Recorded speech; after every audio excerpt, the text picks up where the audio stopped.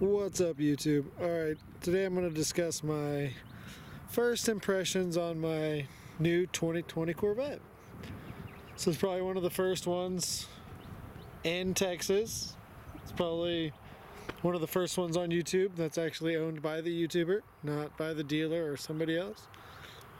But yeah, um, I ordered this car quite, what, August, September-ish, September 12th I put in the order and I got to see cars, you know, I would say like the blue one and some of the other ones, they weren't very well, I feel like I was disappointed by looking at them. They weren't very well optioned and this is literally the first day that I have this car fully LPO'd and all the parts put on it. I I posted a video earlier where I received it on the truck and I actually did all the LPO and and everything for it. So it's finally done and I'm gonna kind of go over some things that I did and what I got.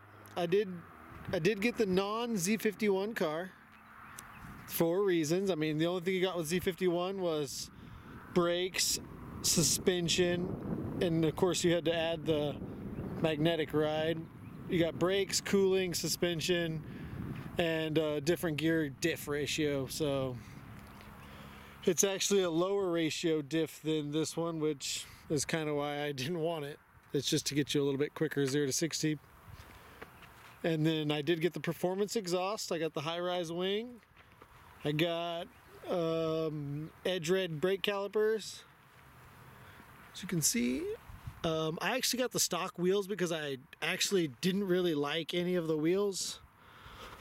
Didn't like none of the wheel options. I was going to go aftermarket and just buy my own, but I've actually really kind of, I kind of fell in love with these. These actually really look good on the car.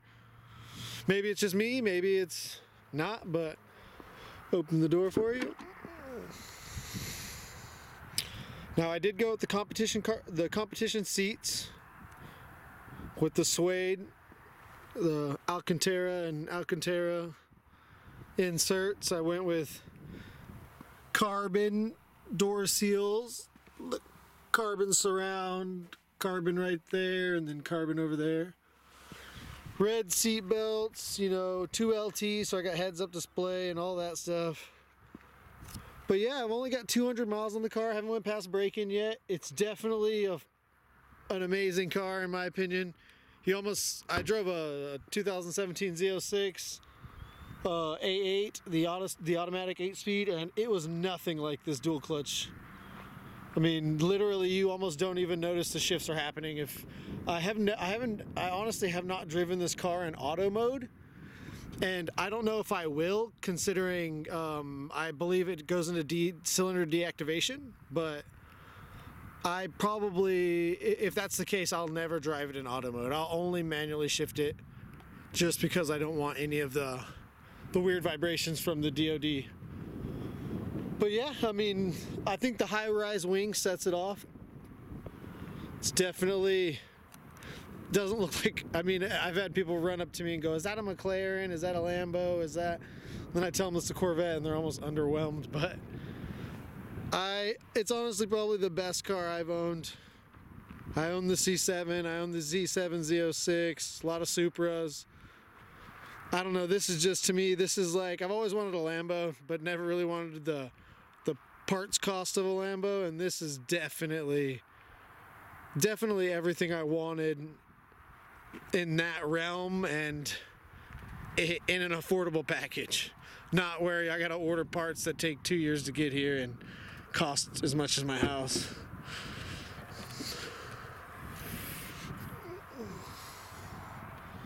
There she is. I didn't do the appearance package nothing like that I kind of got it base. I, I, have plans on making some parts for this car, uh, making some carbon, these carbon caps, uh, a carbon cover over this and over that, maybe a carbon cover for the for the engine, and then a lot of uh, any of the in the interior. You can see I haven't even taken the wrap off my seats yet.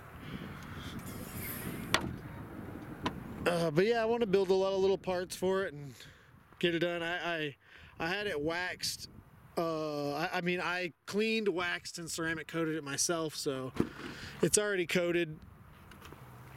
I did the door seals and everything. It's it's hard to keep clean. Uh, let a few people in there, so it's already a little. Everyone wants to sit in it and drive around. I did get a, a build plaque. I don't know if you're gonna if that's gonna come up good on camera. Um, if anyone's wondering what that is, it's actually my um my gamer tag. so it's just kind of just little touches that I added for myself and my own amusement. But yeah, this is it. Um, plan on doing more videos in the future. Like and subscribe if you like what you see.